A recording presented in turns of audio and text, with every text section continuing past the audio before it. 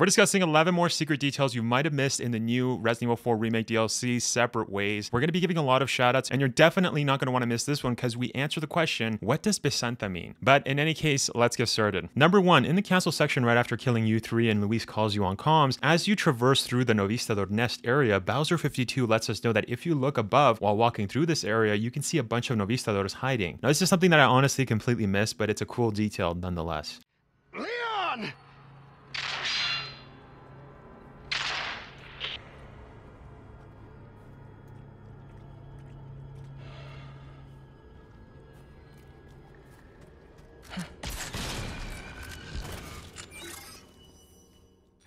Number two, Blue Flare lets us know that in the castle section, when Ada acquires the big fish, aka the Lord of the Waterway, Ada will state, Caught myself a big one. Sure enough, this is the same line that Ethan says in RE8 after defeating Moreau.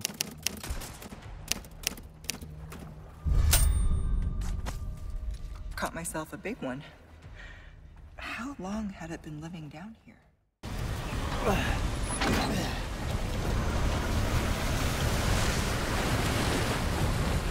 Caught myself a big one. Number three, as mentioned in part two, Ada says the line Fly My Pretties, which as mentioned is from The Wizard of Oz. But sure enough, movie scenes lets us know that this isn't the first time we've heard this line in a Resident Evil game. In fact, we hear Alex Wesker say this line several times while playing Resident Evil Resistance. Fly, my pretties, fly!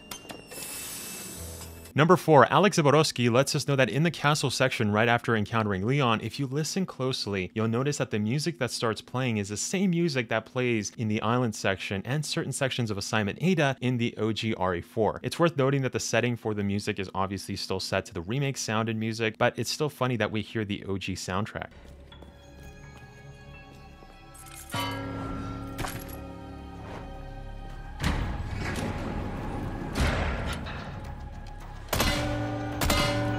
Gate and gong have the same symbol. Number 5. Grey Fox lets us know that if Ada wears sunglasses in the island section when encountering the turrets, the lasers will appear as green. Though, after testing this several times, I can safely say that this is highly incorrect. Though, I did manage to find out how Grey Fox was able to see green lasers. The way you do this is by first going to the display settings in the options under Laser Sight Color and changing the laser color. It can be changed to blue, white, green, and default red.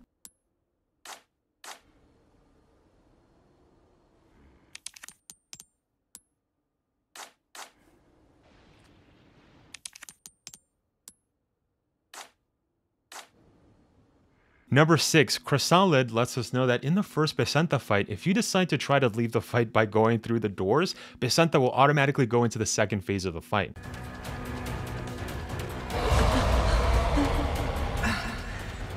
My eyes. What's.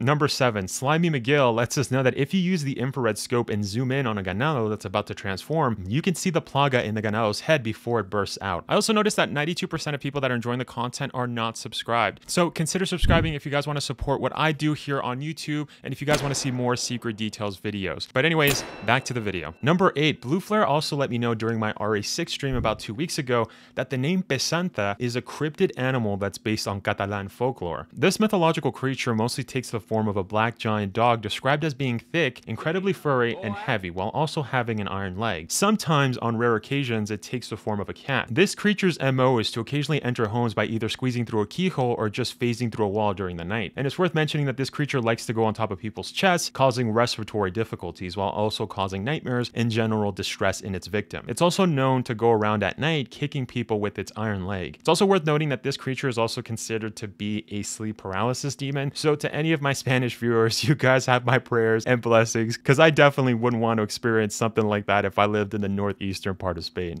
Here are some honorable mentions. Number 9, John Marston Edits lets us know that if you play as Leon while wearing his jacket, when he pulls his knife out and sheaths it, it goes through his jacket. Funny enough, there's no animation of Leon grabbing the knife from underneath his jacket. Number 10, User QG lets us know a funny mistake that the devs made, but when Leon arrives in the castle section, Luis will contact Leon. The mistake here is that in the base game, when Leon speaks with Luis, you can see a small waterfall behind Luis, indicating that Luis could have been in the water room or perhaps the courtyard, since he does mention in the comms to meet him at this location. Though, in separate ways, when Luis has this same conversation with Leon, he's in the tower and there's no water around him at all. Hola, Luis here. You guys still around? Well, I wanted to go home, but Ashley just had to see this castle first. Hola, Luis here. You guys still around? Well, I wanted to go home, but Ashley just had to see this castle first. Number 11, J-Cubes lets us know another mistake that's in separate ways. This mistake can be found when Ada is en route to meet Luis after getting stabbed by Krauser. In separate ways, though, Luis yells to Leon, though in the base game, this never happens. Sounds like he needs me. Leon!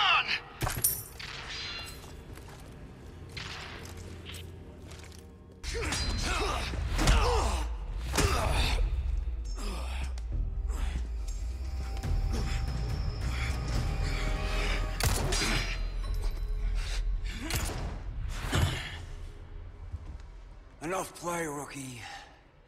You haven't changed a damn bit. what a disappointment. If